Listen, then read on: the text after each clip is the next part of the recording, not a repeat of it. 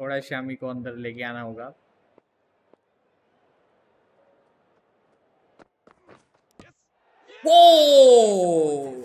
Let's go भाई ज़ोर root बहुत ही शानदार अंदर इन स्विंग आती हुई बोल्ट शमी ने दिखा दिया कि कितनी तगड़ी क्लास उन के पास।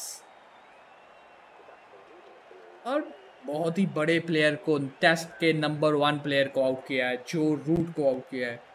शमी ने कमाल की गेंद डाल के